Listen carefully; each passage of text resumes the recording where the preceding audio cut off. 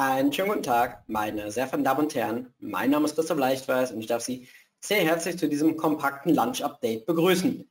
Halbjahresausblick und Anlagestrategie 2022.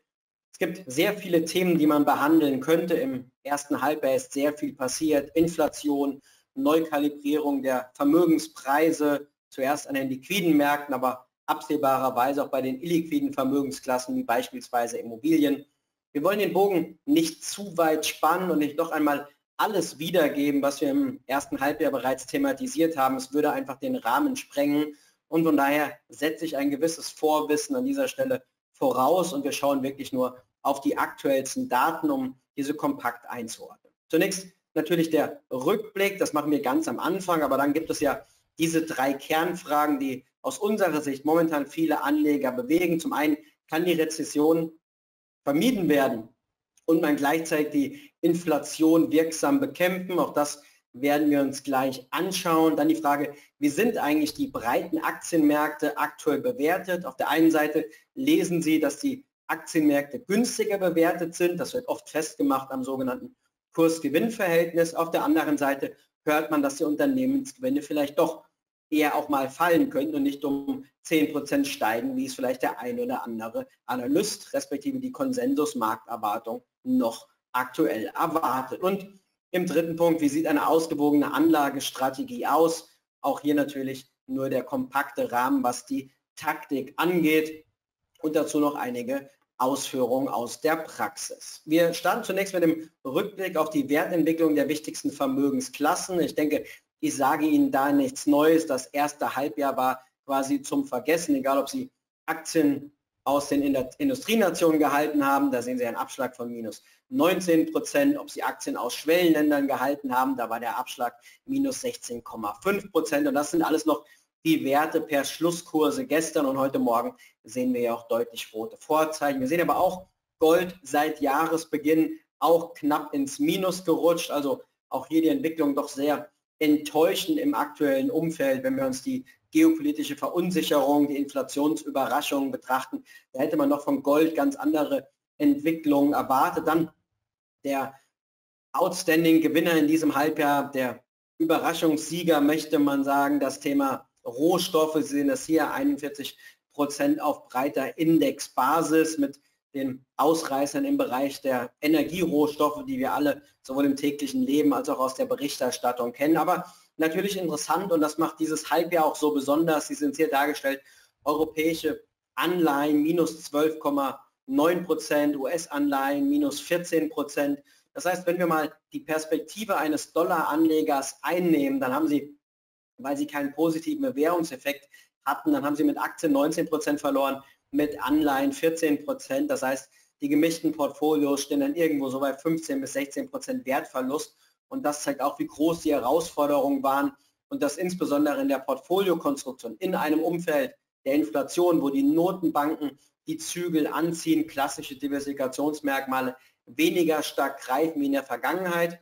Ob man die jüngste Schwäche nur noch fortschreiben kann für die Zukunft oder ob nach diesem extrem schwachen Ergebnis im ersten Halbjahr für die Zukunft wieder deutlich bessere Korrelations- und Risikostreuungseigenschaften zu erwarten sind. Das wird man sehen, aber es war jetzt natürlich schon mal ein ordentlicher Schlag ins Kontor und man sieht auch, dass die Nachfrage nach alternativen Vermögensklassen, die eher aktiver die Marktabhängigkeit auch steuern, Hedgefonds, aber auch trendfolgende Ansätze und auch Absicherungsstrategien, die sind wieder mehr en vogue. Da sieht man wieder, deutlich mehr Zuflüsse von Anlegern auf globaler Ebene. Also man konnte sich nirgends verstecken, außer bei den Rohstoffen, respektive natürlich auch der Dollar aus der europäischen Sicht ein positives Merkmal, weil die Euro-Abwertung, die uns zwar bei der importierten Inflation trifft, aber die hilft uns zumindest bei der globalen Vermögensallokation, weil eben ein wesentlicher Teil oder ein guter Anteil der Kursverluste aus den zugrunde liegenden Vermögensklassen, also Aktien, im Wesentlichen, der wird kompensiert zum Teil anteilig eben über die Währungsentwicklung. Das heißt, ein Euroanleger mit einem internationalen globalen Portfolio, für den sieht das Ganze in Heimatwährung gerechnet besser aus als für einen Anleger, der beispielsweise im Dollarraum rechnet. Die Entwicklung dann über zwölf Monate, also nicht nur das erste Halbjahr, sondern die Perspektive etwas verlängert. Da sehen Sie das Ganze auch. Wir sehen Gold dann noch 3,5 2% im Plus in Dollar gerechnet. Wir sehen aber auch Aktien Europa 6% im Minus. Wir sehen Aktien global 13% im Minus. Und was Anleger sich natürlich nun fragen, ist da schon wirklich eine Rezession eingepreist oder hat das einfach nur damit zu tun, dass wir durch die gestiegenen Renditen eben auch wieder Alternativen haben? Und das war natürlich auch eines der Themen im ersten Halbjahr 2022. Überraschend hohe Inflationsraten, Notenbanken vollkommen auf dem falschen Fuß erwischt, viel zu spät, viel zu wenig gegengesteuert, am Ende des Tages überstimuliert, wenn wir uns die Arbeitsmarktdaten aus dem Jahr 2021 anschauen. Und nun sehen wir eben, es gibt wieder Renditen jetzt dargestellt für Deutschland, es gibt wieder Zinsen. Und das heißt natürlich auch, dass man dieses Akronym TINA, der ist No Alternative oder auch beide DIP, das gilt es natürlich zu hinterfragen, weil es Alternativen gibt. Es gibt wieder Zinsen und Renditen. Die ersten Banken haben schon angekündigt, Verwahrentgelte zu streichen, meistens auch ab dem 1.7. Andere Institute sind ja noch in der Kommunikationspolitik abwarten. Aber was man ganz klar sagen muss, dieser deutliche Zinsanstieg, diese extreme Bewegung, nicht nur im Euro, sondern natürlich auch im Dollarraum speziell, die hat wirklich die Kapitalmarktpreise stark beeinflusst. Und wir haben dieses Thema ja sehr ausführlich auch behandelt, bereits im Januar, Februar unter dem Stichwort Neukalibrierung der Vermögenspreise durch steigende Renditen.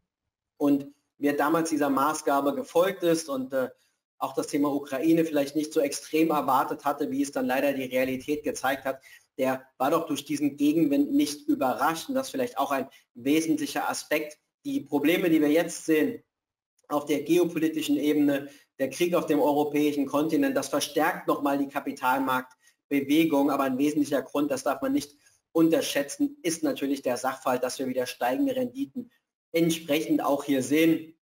Und das können Sie hier sehr gut nachvollziehen, denke ich, hier mal in Blau die Renditen zum 01.01.2020, also vor der Corona-Phase. Auch da waren wir schon der Meinung, naja, die Renditen sind eigentlich ein bisschen zu gering für Unternehmensanleihen, um das Risiko ausgiebig zu vergüten. Und da sehen Sie, damals gab es 3%, aktuell die Renditen wieder auf 7,8% gestiegen. Schauen Sie auf die US-Staatsanleihen, 1,9% vor Corona, aktuell 3,1%. Wir waren schon bei knapp 3,5% und bei europäischen Unternehmensanleihen, die auf Euro lauten, da sehen Sie Renditeanstiege von 0,7 Prozent auf 3,5 Prozent. Also eine Verfünffachung der Renditen. Und das, glaube ich, ein sehr wesentlicher Aspekt, dass wir aktuell sehen, dass viele Chance-Risikoprofile von Vermögensklassen, die vollkommen verzerrt waren durch die planwirtschaftlichen Eingriffe der Notenbanken, dass sich das nun entsprechend zurückdreht, dass die Rendite-Risikoprofile nun wieder deutlich marktgerechter werden und dass dieser Prozess natürlich schmerzhaft ist für Anleger, die sich zum Beispiel bei 3% in Hochzinsanleihen haben hineindrücken lassen, was wir nie angeraten haben und auch für Anleger selbstverständlich, die sich sehr stark auf das Thema Wachstumsaktien konzentriert haben, nach dem Motto, Gewinne sind egal, eine Bewertung zum 30, 40, 50-fachen des Jahresumsatzes ist doch immer noch eine adäquate Bewertung für ein Unternehmen. Und diese Bewertungsblasen, das muss man sagen, die sind geplatzt. Hier mal ein beispielhafter Meme-Stock-Index, also wo man die Aktien bündelt, die in den sozialen Medien große Hypes entfacht haben. Sie erinnern sich an GameStop und ähnliche Stories, wo wir doch gesehen haben, dass einzelne Aktien oder einzelne Sektoren sehr stark ähm, getrieben worden sind. Und Sie sehen hier die Entwicklung der Index wurde dann publiziert seit Mitte November 2021 sehen Sie aktuell der Kursverlust irgendwo 65 bis 70 Prozent. Und ich glaube, es ist sehr vermessen davon auszugehen, dass Unternehmen, die sehr hoch bewertet waren, dass die wieder annähernd die Kurse zurückgewinnen, die sie mal gesehen haben. Da waren einfach schwachsinnige Bewertungen. Man muss es leider auch so deutlich ähm, sagen, mit drin. Und wenn man in dieser Entwicklung drin ist, dann fällt es immer sehr schwer zu sagen, warum zählen denn Bewertungen, warum zählen denn fundamentale Preise, was hat denn eigentlich Kursgewinnverhältnis, Free Cashflow Rendite und andere Bewertungskennzahlen an Relevanz, wenn die Aktienkurse doch weiter steigen. Und da haben wir doch dann gesehen, Sie wissen nie genau, wann der Trend bricht, aber wenn er bricht, und jetzt ist er gebrochen, durch die geringere Liquiditätsversorgung der Notenbanken, die finanziellen Rahmenbedingungen haben sich da deutlich verschlechtert durch die steigenden Renditen, durch weniger Spekulationsfreude sieht man dann eben, wie schnell das auch geht. Und ähm, für Anleger, die sich hier nicht stark positioniert haben, die leiden natürlich momentan unter dieser Neukalibrierung der Vermögenspreise. Auf der anderen Seite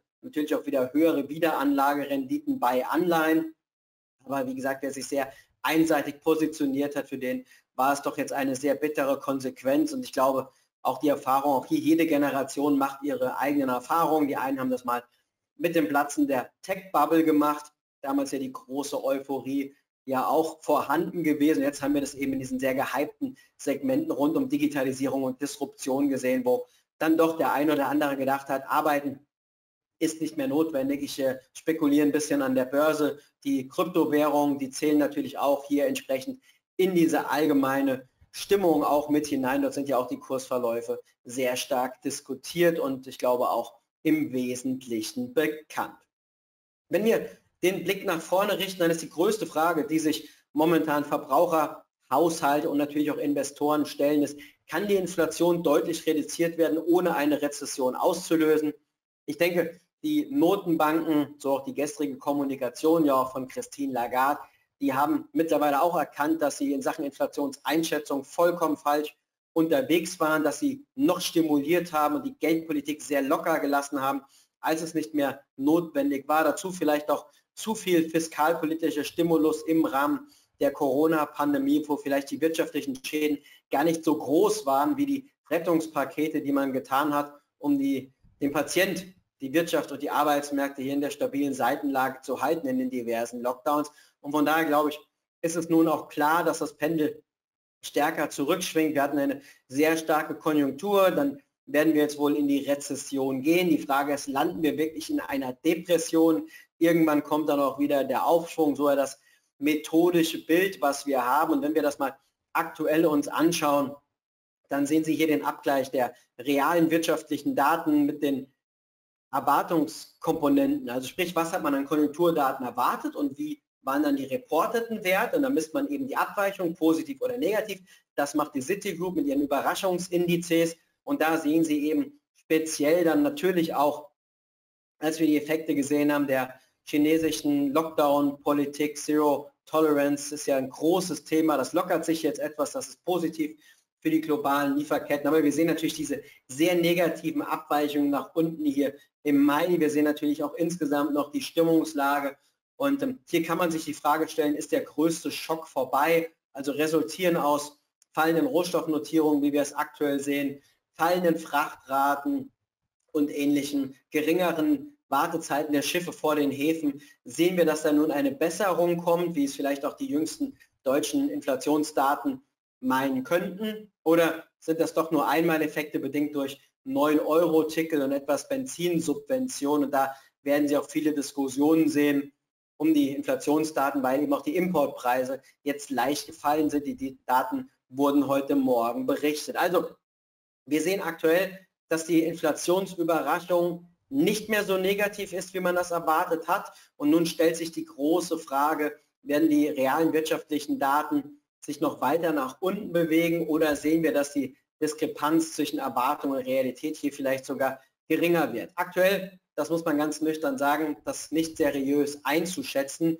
Von daher schauen wir natürlich auch auf die aktuellen Daten und wenn man sich das Ganze anschaut und ich könnte Ihnen eine Vielzahl von Konjunkturindikatoren, Stimmungsindikatoren präsentieren, aber jetzt hier mal nur eine rausgegriffen in Orange dargestellt an der linken Skala. Da sehen Sie das Konsumentenvertrauen für die USA, wie es die Uni Michigan erhebt. Der Konsument macht rund 30, äh, sorry, 70 Prozent der Wirtschaftsleistung in den USA aus. Also das ist ein gewichtiger Faktor.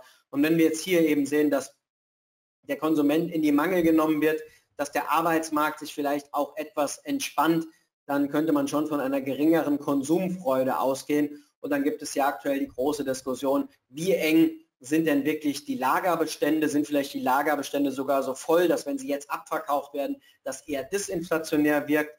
Werden da die Einzelmeldungen von großen Einzelhandelsgiganten wie Walmart und Target überschätzt, aber in der Breite sind dann die Bestände noch gar nicht so. Also unheimlich viel Diskussion auch unter den Fachleuten, wie die verschiedenen Daten zu werden sind. Aber ich glaube, eins ist klar, hohe Inflationsraten, jetzt noch ein Häusermarkt in den USA, der spektakuläre Preisgewinne hatte, aber wo man doch vielleicht auch erwartet, dass wir ein Überrollen sehen und dann führen natürlich fallende Vermögenspreise auf der Aktienseite auf der Anleihenseite und die Antizipation fallender Immobilienpreise dazu, dass man sich weniger vermögend fühlt. Wenn dann noch eine Verunsicherung dazu kommt, was die Arbeitsplatzsicherheit angeht, weil ja doch Unternehmen auch mal damit beginnen könnten, Unternehmen, sorry, Personal freizusetzen, dann ist natürlich die Frage, wird wirklich der Konsum so schlecht werden, wie es die aktuellen Verbraucherumfragen implizieren, auch in Deutschland. Die Konsumentenstimmung war jetzt jüngst schwächer. Der Einzelhandelsumsatz in Deutschland auch, ich glaube, minus 3,6 Prozent zum Vorjahr heute Morgen berechnet. Also das wird man sehen, ist aber quasi auch alles bekannt, weil wenn wir uns die Umfragen anschauen, da befragt im Endeffekt die Deutsche Bank Research, befragt im Endeffekt 400 globale Teilnehmer und sagt, okay, wie seht ihr das Thema Rezession? Sind wir gar schon in einer Rezession? Da sagen 17 Prozent der Marktteilnehmer, wir sind schon drin, beziehungsweise sie ist in 2022 und 71 Prozent der Teilnehmer sagen, naja, 2023 wird es dann soweit. Und das ist natürlich immer sehr interessant. Wenn alle Daten für etwas sprechen, dann ist die Frage, ist es bereits eingepreist oder ist die Lage diesmal wirklich so besonders, dass die Rezession sicher ist? Wir glauben auch, eine Rezession ist sehr wahrscheinlich, vor allem da die Notenbanken versuchen, ihre Kreditwürdigkeit in der Kommunikation zurückzuerlangen und vielleicht sogar auch die Renditen beziehungsweise eher die Zinsen auf ein Niveau heben, dass es eben nicht mehr nur stimulierend ist, sondern dass auch das Wachstum dämpft. Da wird man immer sehr stark schauen müssen, was sagt der Arbeitsmarkt. Aber der Arbeitsmarkt, ein nachlaufender Konjunkturindikator, der wird den Notenbanken nicht so gut dabei helfen, ein gutes Timing für ihre geldpolitische Kommunikation und die Leitzinsanpassung entsprechend zu finden. Also das Thema Rezession gilt als sichere Sache und von daher stellt sich natürlich dann die große Frage, wenn es so sicher ist, wie sollten Investoren damit umgehen? Typischerweise, so zumindest die Historie, Kapitalanlageinvestitionen, die man in einem Umfeld von Rezessionen begonnen hat, die waren typischerweise recht ertragreich und da steigern und da diskutieren momentan auch die beiden Marktbetrachtungen. Die einen sagen, es kam jetzt schon so stark zurück, es wird nicht so schlimm, weil die allgemeine Konsensmeinung ist meistens falsch, also vielleicht jetzt sogar zu negativ.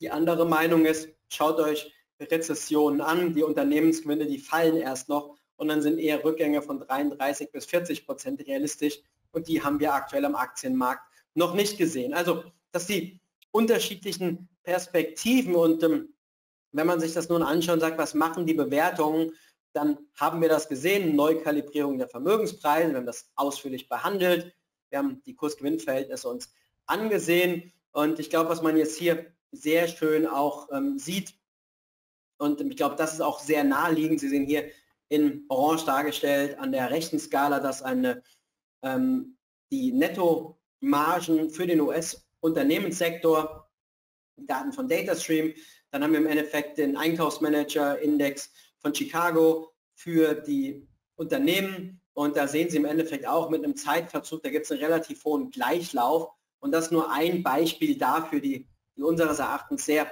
plausible Annahme begründet, dass die Unternehmensgewinne im Jahr 2022 nicht gegenüber dem Jahr 2021 steigen, sondern dass wir jetzt eher auch fallende Unternehmensgewinne sehen. Ausnahme mit Sicherheit natürlich der Energiesektor, aber insgesamt fallende Unternehmensgewinne sind ein Thema. Und wenn die Unternehmensgewinne fallen, dann werden die Bewertungen optisch auch wieder höher.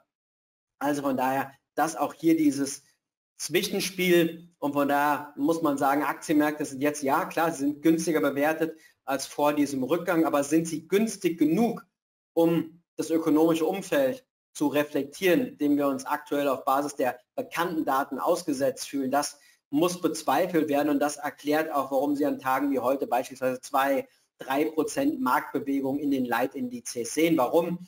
Die Käufer stehen an der Seitenlinie und warten ab. Wer verkauft, der ist dann bereit, zu einem niedrigeren Preis zu verkaufen. Und das erklärt an dieser Stelle auch, warum die Aktienpreise sich hier entsprechend nach unten bewegen. Wir glauben, es ist noch zu früh, um jetzt euphorisch zu sein aufgrund der Rückgänge und jetzt sagen beide Dip jetzt voll rein in die Aktienquote, sondern wir glauben, es macht Sinn, hier schrittweise Positionen aufzubauen. Das gilt nicht nur für die Aktienseite, sondern speziell auf der Anleihenseite sehen wir eigentlich das beste Umfeld seit fünf bis sechs Jahren. Und wer hier bei Anleihen untergewichtet war, der findet natürlich nun gute Möglichkeiten oder wer sehr lange in Cash war und darauf gewartet hat, dass jetzt mal wieder Opportunitäten sich ergeben auf der Zinsseite, die zwar nicht ausreichen werden, um die Inflation zu schlagen, die aber dennoch auf der nominellen Ertragsebene mittlerweile einen ganz vernünftigen Beitrag bieten. Und unsere Meinung, auch das ja in diversen Webinaren sehr ausführlich dargelegt. Wir glauben, es macht Sinn, jetzt in diese Verunsicherung, in diese straffere Geldpolitik, in die Verunsicherung rund um Inflationsraten und vielleicht auch den Sachverhalt, dass die Notenbanken hier einen sogenannten Fehler machen und dementsprechend auch die Rezession mit auslösen, dass diese Unsicherheit, wie es immer ist, attraktive Prämien bietet, um hier sukzessive in diese Phase der geldpolitischen Straffung der nächsten sechs, vielleicht neun Monate Anleihepositionen schrittweise aufzubauen, um dann in neun Monaten ein Anleiheportfolio zu haben, was dann auf Sicht der nächsten drei, vier Jahre auskömmliche nominelle Renditen bietet und dann auch vielleicht, wenn die Inflationsraten zurückkommen, dann vielleicht sogar es schafft, die Kaufkraft real zu erhalten. Also etwas, was wir mit Anleihen ja sehr lange in der Perspektive nicht gesehen haben. Wie sieht eine ausgewogene Anlagestrategie aus? Klar, es gibt immer Rahmenbedingungen. Ich habe Ihnen das mal hier mitgebracht für ein ausgewogenes Portfolio. In unserer Definition bedeutet das, oder sorry, das ist sogar ein äh, offensives Portfolio hier.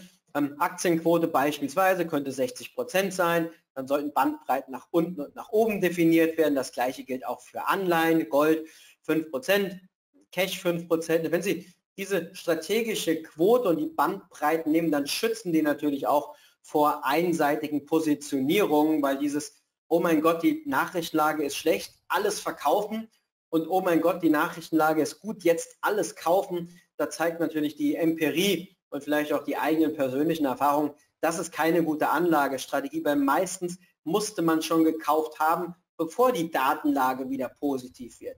Und umgekehrt, meistens musste man schon verkaufen, bevor die Stimmungslage schlecht wird. Und das haben wir ja auch sehr schön gesehen.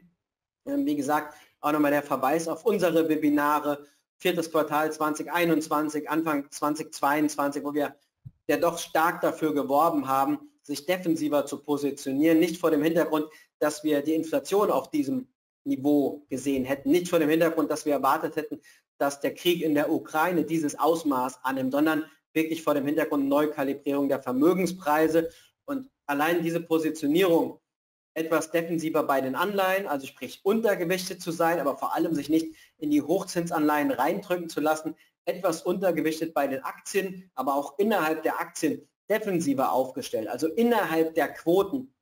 Das war wichtig und ich habe Ihnen hier die aktuelle Positionierung äh, mitgebracht. Unsere Kunden der individuellen Vermögensverwaltung kennen das, ähm, bekommen das natürlich auch immer vorzeitig ähm, entsprechend geliefert und auch mitgeteilt. Da gibt es dann immer Ad-Hoc-Updates ähm, für die Kunden und für die Nicht-Kunden dann eben nachgelagert mit einigem Zeitverzug hier die Daten. Und Sie sehen es aktuell, Aktien starkes Untergewicht, wobei dieses starke Untergewicht auch daraus resultiert, dass ähm, entsprechend bereits im Dezember letzten Jahres eine spezielle Absicherungsstrategie implementiert wurde, bei der laufend auf Basis von Indexfonds Putz erworben werden, 10, 15 Prozent aus dem Geld, verschiedene Laufzeiten, also ein sehr diversifiziertes Portfolio Aktien plus Absicherung nicht als Timing-Indikator, sondern um die Aktienquote strategisch höher halten zu können, aber gleichzeitig einen Schutz gegen extreme Verluste aufzubauen. Also quasi eine Protective Put-Strategie auf globaler Basis. Anleihen untergewichtet, das ist ja eine Position auch schon relativ lange. Ich bin mir sicher, das wird sich jetzt demnächst eher in den neutralen Bereich auch bewegen. Gold da wissen Sie, da waren wir auch lange Zeit übergewichtet, teilweise Quoten von 15 Prozent. Dann haben wir gesagt, na gut, als Gold bei über 2000 war, das ist die Risikoprämie aus der Ukraine-Konflikt. Hier macht es mal Sinn, Positionen zu reduzieren. Mittlerweile Gold typischerweise bei 5 Prozent angesiedelt, weil einfach der Gegenwind durch die gestiegenen Zinsen und durch den starken Dollar zu hoch erscheint. Und wenn sich hier wirklich die Nachrichtenlage ändern sollte und wir hoffentlich aus humanitären und menschlichen Gründen einen Kompromiss, der mit Sicherheit faul sein wird, finden werden, der die kriegerischen Handlungen beendet, dann stellt sich natürlich schon die Frage, was bedeutet das noch zusätzlich für Gold? Also hier bei Gold die Schwankungsbreite ähnlich wie am Aktienmarkt. Lange Zeit war es gut zu begründen, Gold überzugewichten, aber auch hier sehen Sie, wurde zurück auf neutral geschoben und dann, das erklärt sich, wenn Sie insgesamt Positionen zurückfahren, dann müssen Sie dort übergewichtet sein, wo Geld landet, wenn Sie es nicht investieren. Und das ist die Kasse, Kasse, die tendenziell aktuell auch bei 20 Prozent stehen kann. und insgesamt auch die defensive Struktur. Und wir glauben nun, dass ja auch der Ausblick, dass die Unsicherheit, insbesondere auch Marktteilnehmer, die viel zu positiv in das Jahr gestartet sind, also Aktienquoten stark übergewichtet, Wachstumsaktien höher gewichtet als der Index, mehr Restlaufzeit, noch höhere Kreditrisiko im Anleiheportfolio, vielleicht dann sogar auch mal 2, 3, 4, 5 Prozent Kryptowährungen ins Portfolio integriert. Die hat ja sehr, sehr stark getroffen, diese Anleger, da ist Wunden lecken. Die haben jetzt schon zum Teil prozyklisch ihre Positionen zurückgefahren. Wir glauben aber, da gibt es noch mehr an Verunsicherung, wenn man mit dem Punkt nicht treffen. Und von daher wird man nun sich in den Sommermärkten, wo auch die Liquidität vielleicht dünner wird, wo das Thema Rezession noch viel, viel stärker im Mainstream, in den Medien, auch in der Realität vielleicht ankommt, weil vielleicht auch der Nachbar mal wieder keinen Bonus bekommt, Mitarbeiter auf Kurzarbeit gesetzt werden oder ähnliches, ähm, dass diese Phase dann aus der anlagepolitischen Perspektive eine sehr gute Phase ist, um entsprechend hier die Haltung von sehr defensiv aufgrund der zu positiven Stimmung Ende letzten Jahres, Anfang diesen Jahres eben zu drehen in Richtung strategische Quoten, nicht nur was die Quoten angeht, sondern eben auch die Ausrichtungen, vielleicht dann sogar auch, wenn wir mal eine Kapitulation auch sehen, weil wirklich mehrere Tage mal Kursrückgänge von 2, 3 Prozent zeigen. Wenn man dann wirklich sieht, da ist man Boden gefunden, fundamental, wenn wir sehen, dass die Markttechnik, auch in diesen Phasen gilt es mehr auf die Markttechnik zu schauen, wenn wir da mal einen Boden finden, dann macht es hier Sinn, schrittweise Positionen aufzubauen, also in die Unsicherheit weiter Positionen eben auch hier zu etablieren. Ja, meine Damen und Herren, das soll es auch gewesen sein mit diesem sehr komprimierten Lunch-Update. Sie wissen, wir versuchen in diesem Format immer einzelne Themen herauszupicken, um die Dauer auch bei 30 Minuten zu lassen, um Ihnen die Möglichkeit zu geben, wenn Sie verschiedene Lunch-Updates betrachten oder andere Webinare, dass Sie aus der Kombination dieser verschiedenen Themen für Sie ein gutes Bild bekommen für unsere Kunden ohnehin ja das Big Picture immer sehr eng in der Kommunikation, aber auch für die Nichtkunden, glaube ich, da sind immer wieder gute Ansätze dabei, Denkanstöße da, dabei, um die eigene Anlagestrategie zu challengen, um vielleicht auch die eigenen Banken, die eigenen Vermögensverwalter mit neuen Fragen zu konfrontieren. Und von da freuen wir uns natürlich immer, wenn wir Ihnen hier neues gedankliches Futter an die Hand geben, was Sie dann natürlich gerne mit sich selbst diskutieren können, mit dem Ehepartner, mit anderen Finanzdienstleistern, aber natürlich, das soll auch natürlich auch immer der Punkt sein, auch gerne mit uns. Wir freuen uns über jeden Vergleich, wenn es darum geht, die Herleitung der Anlagestrategie, die Dienstleistung im Bereich der Finanzplanung und Vermögensstrukturierung, aber auch die Anlageergebnisse im Wettbewerb zu vergleichen. So, meine Damen und Herren, das soll es an dieser Stelle auch gewesen sein von den Ausführungen. Ich würde nun die Aufzeichnung beenden, bedanke mich bei Ihnen für die Aufmerksamkeit und wir können dann nun in Illustra-Runde entsprechend hier Ihre Fragen diskutieren. Sie können diese über die Software entsprechend stellen. Ich werde diese vorlesen, natürlich ohne Namensnennung und dann können wir diese gerne noch diskutieren, gerne aber natürlich auch noch weitere allgemeine Fragen, bei denen Sie sagen, die drücken mir noch aktuell aufs Gemüt, die würde ich gerne noch mal ansprechen, ohne dass sie jetzt hier dezidiert in diesem kompakten Webinar behandelt wurden. Wer uns bereits verlässt, machen Sie es gut, Ihnen einen schönen Mittag, einen guten Appetit, bis bald. Auf Wiedersehen.